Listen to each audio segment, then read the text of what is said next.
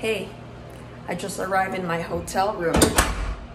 Have you even wondered how to exit a deal, how to exit a property, even if you have not found the deal yet? Exit means not necessarily selling it, but exit means even before buying the property, you know how to position yourself.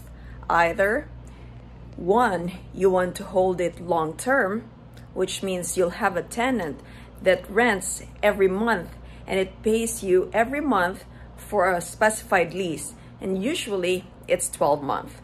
Or do you want to exit where you position yourself, where you position your unit as a short-term rental, which means you're like a service industry. You're running it as a hotel, which means that you have guests that books every day or every few days and then moves out or checks out in a couple of days. So let me show you my room because if you're doing a short-term lease or an Airbnb, you'll set it up like a hotel. Because why? Hotel and Airbnb are both service industry. So, so this is my room. I'm in Courtyard by Marriott. So that's the main door. Now, this is their bed. And this is their small living room. That's the window. And I have my closet here. I have a small study table.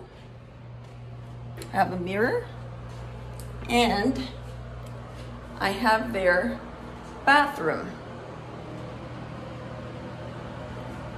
You have your linen closet and you have your shower here. That's a beautiful shower with glass shower doors. Now, for Airbnb, like I said earlier, it's like a hotel industry. Why? Because it's furnished. You pay for the, you as a landlord pay for the electricity, the gas, if there's gas bill, the internet, and you also take care of your cleaners, professional cleaners, and property maintenance. So it is like a hotel. You're in the service industry. So before you even buy a property, you got to think of your exit. How do you position yourself when you buy the property? So I hope you love my hotel room. And now you know the hotel, which is a service industry, or you want to do it long-term rental, which I do. I have 61 apartment units. And if you need more information on how to do long-term apartment investing, you can contact me at info at apartmentprescription.com. Info at apartmentprescription.com. Take care.